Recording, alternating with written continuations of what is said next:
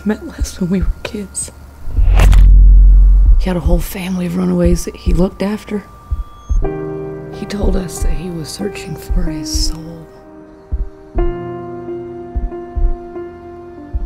It brought us together, gave us purpose. We needed him. Simmons, I just got a call about a van full of corpses outside of Joliet. The ghoul? Right. I'm on my way.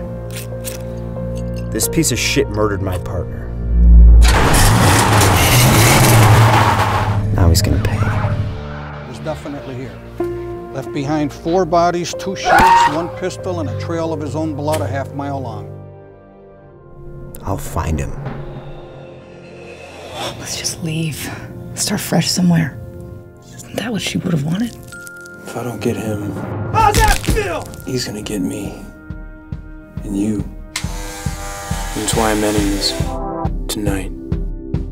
You want to get back at this asshole? The one that killed your mom? Stole your soul?